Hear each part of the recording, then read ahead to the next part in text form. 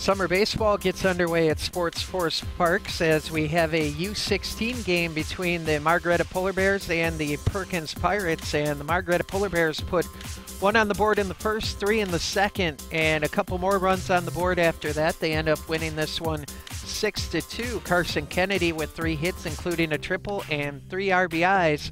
And again, Margaretta with the win, six to two.